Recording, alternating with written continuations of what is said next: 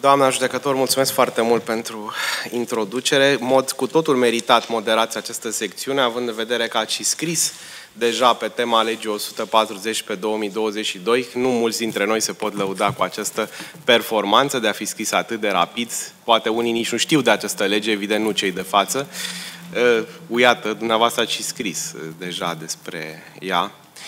Acum, sigur, am ajuns în panelul procedural și nu întâmplător el se află la urmă, uh, cu totul meritat, a zice că se află la, la închiderea panelelor. Unu, pentru că deja toată lumea obosită și poate să trateze teme mai facile. Doi, pentru că procedura, după cum bine știm, este doar un auxiliar, este un adjuvant, un servitor al dreptului material și procedura în această materie, spre osebire poate de alte materii, unde ea este deseori instrumentalizată ca un scop în sine, aici procedura are un scop foarte clar, să servească luării cele mai indicate, cele mai adecvate măsuri de ocrotire. Nu este loc de tertipuri procedurale, de tergiversări și de, foarte, de prea mult formalism. Formalismul, în măsura în care există, este dedicat protejării drepturilor fundamentale ale eh, celui cu privire la care solicită luarea unei măsuri de ocrotire. Acum, titlul în codul de procedură, voi, eu voi trata în această primă intervenție, care uh, sper să fie cât mai uh, succintă, uh, modificările aduse codului în ceea ce privește procedura de instituire a Consilierii Judiciare, respectiv a tutelei speciale, înainte să numea punerea sub interdicție judecătorească. Uh, deci a fost redenumită acest titlu 2 din Cartea 6 privind procedurile speciale. Uh, trăsăturile fundamentale ale reglementării au rămas nemodificate. Uh, o să vedem imediat, au rămas chiar chestiuni din anii 50 de, de, de tradiție în această procedură. Sunt totuși îmbunătățiri. Observați că am evidențiat această numire a unui avocat, această desemnare a unui avocat din oficiu, care mi se pare un mare progres în această procedură. Este, în mod clar, este necesar. Ehm, și în sine toată procedura stă sub semnul oficialității, un uh, rol al instanței un pic mai accentuat decât în uh, procedurile de drept comun. Acum, trecând, să zic așa, la câteva chestiuni de detaliu, și scuze că așa e ca orice slide încărcat, uh, caracterele sunt mici. În ehm, primul rând, să vorbim un pic despre competență. Iarăși, competența se vrea a fi o chestiune relativ simplă ceea de instituirea consilierii judiciare sau a tutelei speciale, spune articolul 936, se soluționează de instanța de tutelă în a cărei circumscripție aceasta și are domiciliul. Instanța de tutelă, după dezbateri în, la, cu ocazia elaborării legii de punere în aplicare uh, a codului de procedură civilă, legea 76 pe 2012, a fost localizată unde a și rămas, la judecătorie, articolul 94, uh, litera A, din codul de procedură civilă fiind clar în această privință. Iar în ceea ce privește competența materială procesuală, deci cea specializată, legea de organizare judiciară prevede organiz- instituirea de secții sau complete specializate în această materie. Sigur, de cele mai multe ori nu sunt veritabile secții autonome doar pe această materie. Există motive care practicienilor sunt bine cunoscute, care fac în general judecătorii să nu-și dorească chiar cu ardoare această specializare, sau cel puțin nu ca specializare unică, așa încât de regulă sunt complete specializate sigur, un număr adecvat care să asigure și respectarea principiului repartizării aleatorii. Știți că de câțiva ani s-a încetățenit uh, cuvântul pluralul completuri, pe care văd că și legiuitorul practică acum cu o perseverență demnă de cauză mai bună. Am răsuflat totuși ușurat să citesc că se admite în continuare oficial și complete. Eu personal nu ader la completuri și sună așa un pic ca siluirea limbii române, dar e o chestiune de, de gusturi. Uh, în ceea ce privește competența teritorială, în această materie, nefiind vorba despre dreptul de care părțile pot să dispună, uh, ar fi o competență exclusivă a instanței în a cărei circumscripție uh, persoana cu privire la care se solicită luarea măsurii își are domiciliul.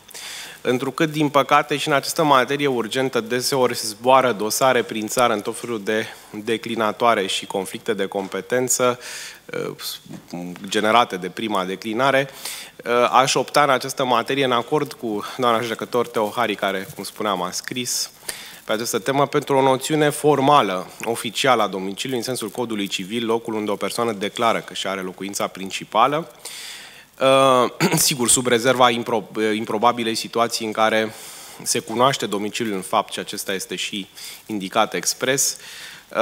Iar în cazul minorilor, aș vrea să fac o trimitere la articolul 92 uh, din Codul Civil, care prevede că domiciliul minorului care nu a dobândit capacitate de plină de exercițiu în condițiile prevăzute de lege este la părinții săi sau la acela dintre părinți la care el locuiește în mod statornic. Uh, cred că este preferabilă în materia competenței această noțiune uh, riguros juridică a domiciliului și la articolul 107, de altfel este aceeași părere, pentru, inclusiv pentru a da certitudine juridică în procedura contencioasă de drept comun, a da certitudinea juridică reclamantului care nu are de unde să cunoască de cele mai multe ori domiciliul în fapt clandestin, nedeclarat al părâtului, iar în această materie, pentru a preveni conflicte de competență supărătoare în condițiile în care, evident, cum spuneam și la început, fondul cauzei este cel care uh, primează. Uh, în legătură cu procedura propriu-zisă, este un text uh, care cuprinde câteva elemente, articolul 937 cuprinde câteva elemente în legătură cu conținutul cererii.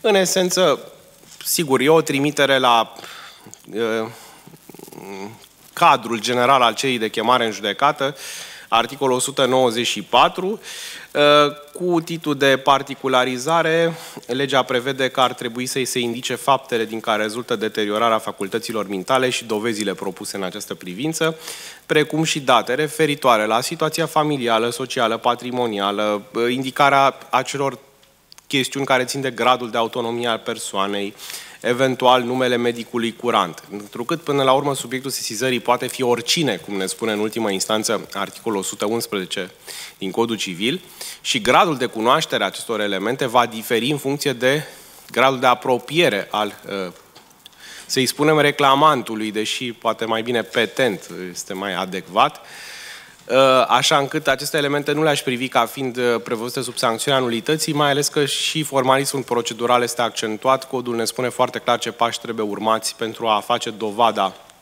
stării uh, care duce la luarea măsurilor respective mod întemeiat, sunt, sunt de aceeași părere, cum s-a arătat și în doctrină, că este vorba nu despre o procedură contencioasă. Suntem aici, această reglementare nu este nimic altceva decât o amenajare a dreptului comun uh, al procedurilor necontencioase. De ce? Pentru că prin această procedură nu se tinde la stabilirea unui drept potrivnic față de cineva. Da?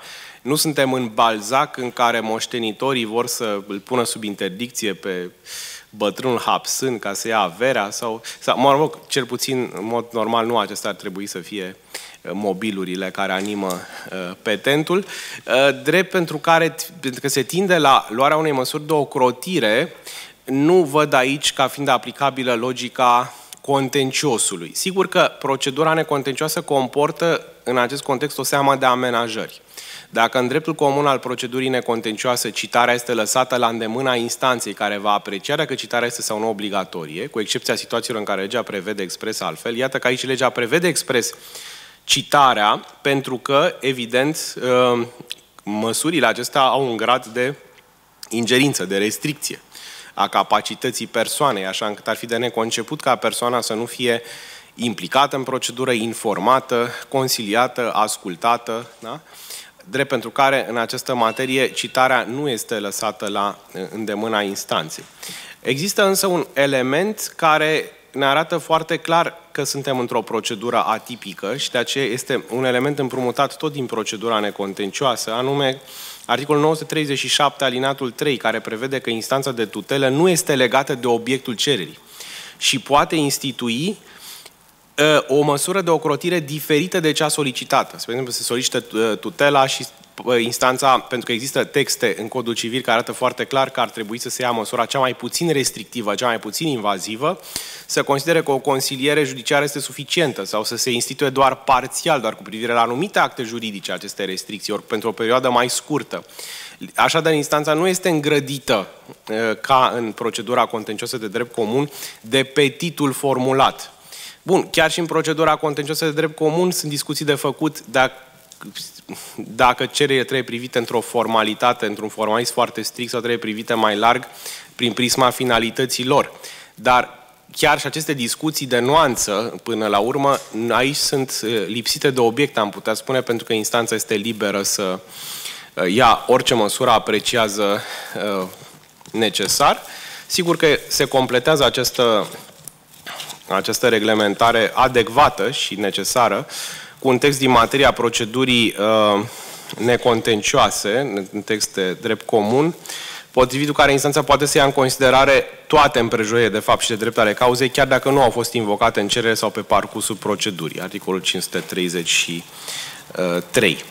Bun, spuneam că a rămas uh, un aspect care ține de decretele, care provine de la decretele 31 și 32 din anul de grație 1954, respectiv faptul că după comunicarea uh, cererii de instituirea măsurii de ocrotire și, uh, și a înscrisului anexate către persoana uh, cu privire la care se cere luarea acestor măsuri, uh, apare în peisaj procurorul. Procurorul spune, înainte practic de fixarea primului termen de judecată, este o fază am spune, de cercetare, de investigare, am putea spune, în care procurorul, prevede articolul 938, uh, va face cercetările necesare, va dispune, deci procurorul, uh, efectuarea unei evaluări medicale și a unei psihologice, va fixa termen, dacă uh, cel uh, cu privire la care solicită luarea măsurii este internat într-o instituție sanitară, se va întocmi un referat, se va solicita punctul de vedere al medicului curant și așa mai departe. Într-adevăr, intervine, uh, incumbă instanței obligația de a dispune aducerea cu mandat dacă persoana nu se prezintă la aceste evaluări medicale, deci nu procurorul, deși, sigur, în procedura penală, drept comun, procurorul poate să dispune aducerea cu mandat, ci instanță. Practic, uh, în această etapă premergătoare, cât se întocmește acest raport de evaluare medicală și cel de evaluare psihologică, instanța poate să mai ia o seamă de măsuri cu caracter provizoriu. Poate să dispune numite, numirea unui curator și, pe de altă parte, poate să dispune internarea provizorie nevoluntară.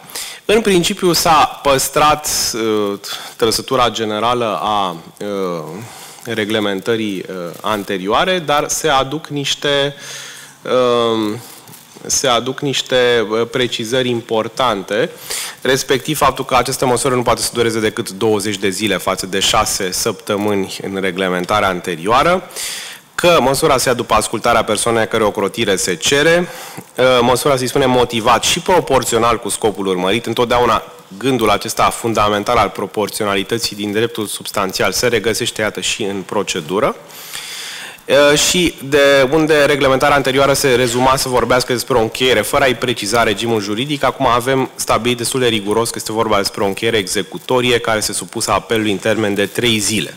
Da? De la pronunțarea pentru cei prezenți, de la comunicare pentru cei lipsă și un termen, mă rog, nu foarte realist de soluționarea apelului de 5 zile. Într-adevăr, dacă nu se soluționează în 5 zile, rămâne cumva fără obiect, pentru că oricum 20 de zile este toată durata maximă a internării uh, nevoluntare. Această măsură nu este o anticipare a măsurii de ocrotire, este dispusă strict pentru perioada efectuării uh, rapoartelor de evaluare, așa încât un text uh, binevenit și inedit în contextul formalismului procedural bine cunoscut, că instituția sanitară de specialitate va proceda de îndată la externarea persoanei a cărei ocrotire se cere, chiar înainte de expirarea duratei stabilite de instanță, dacă se constată că internarea nu mai e necesară. Deci s-a făcut raportul de evaluare foarte rapid și nu mai nu au rost să țină în spital pe omul uh, respectiv. Bun, mi se pare o reglementare cât se poate de adecvat. Abia după ce se întocmesc aceste rapoarte se stabilește termen de judecată, Sigur, judecarea ce se face de urgență și cu precădere. Mă gândeam că asta înseamnă niște lucruri. De exemplu, instanța, nu se pune problema ca într-o asemenea procedură se dispune suspendarea judecății pe articolul 413. Sport, în general, practicat cu multă larghețe și când e cazul și când nu e cazul, uh, nu văd aici elementul de oportunitate, pentru că dacă sunt proceduri paralele, cum ar fi, de exemplu, se, în paralel solicită prelungirea unei măsuri luate anterior, în vreme ce uh, altcineva dintre subiectele de sezin autorizate, chiar și persoana ocrotită, cere înlocuirea măsurii cu altă măsură sau încetarea ei, aceste dosare mai degrabă ar trebui conexate și nici de cum nu ar, sigur, nu ar trebui judecate în paralel, dar nici nu ar trebui să suspende unul în așteptarea celuilalt. Deci nu văd compatibilitatea cu măsuri de tipul suspendării judecății.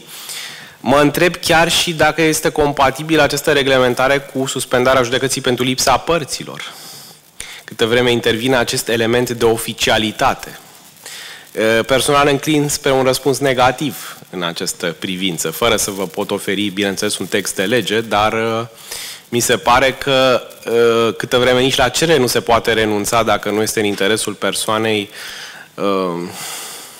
în legătură cu care se cere luarea acestei măsuri, mi se pare că ideea de desistare a, judec- a părților în acest context nu mi se pare foarte, foarte adecvată. Uh, bun, poate discutabilă această chestiune, este mai degrabă o temă de reflexie. Uh, instanța, sigur, este obligată să asculte persoana cu privire la care se solicită luarea măsurii de ocrotire în Camera de Consiliu, îi va pune firește întrebări pentru a-și face o părere în legătură cu starea sa de sănătate psihică, îi va cere, dacă se poate, opinia cu privire la regimul de ocrotire, cu privire la persoana ocrotitorului. Uh, această ascultare poate să aibă loc și la locuința uh, acestei persoane sau, în fine, uh, acolo unde este îngrijit sau în orice alt loc apreciat adecvat. Acum, Articolul 940, alinatul 5, prevede că prelungirea măsurii tutelei speciale pentru o durată mai mare de 5 ani se poate dispune fără ascultarea persoanei ocrotite dacă în raportul medical se menționează că ascultarea sa este de natură să aducă atingere stării de sănătate sau nu este măsură să-și exprime voința. Cred că acest text totuși este de strictă interpretare și s-ar aplica numai în cazul prelungirii și nu al instituirii uh, propriu-zise a uh, măsurii respective. Ah, bun.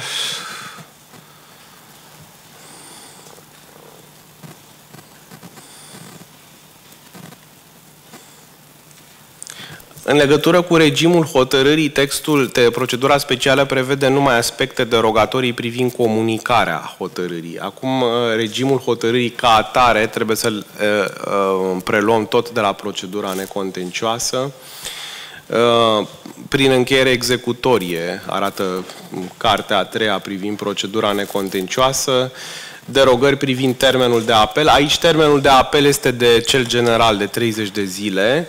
Uh, de discutat dacă este compatibil cu această procedură uh, alinatul 4, anume că apelul poate fi declarat și de terți, alte persoane interesate, de la data la care au luat cunoștință de încheiere, dar nu mai târziu de un an de la data pronunțării. Nu știu dacă acest text este într totul compatibil cu certitudinea juridică pe care o presupune luarea acestei măsuri, mai ales că articolul 941 se referă la comunicarea hotărârii de rămase definitive uh, către, în fine, serviciul public comunitar, serviciul sanitar competent și așa mai uh, departe. Um, Sigur că procedura aceasta se aplică în mod corespunzător și în cazul în care solicită prelungirea, înlocuirea sau ridicarea măsurii de ocrotire.